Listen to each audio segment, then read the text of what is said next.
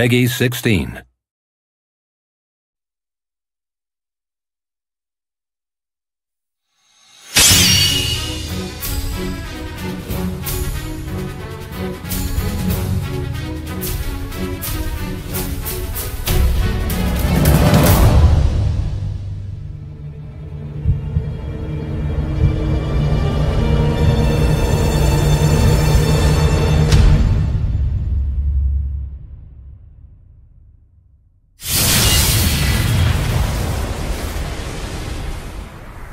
It's over.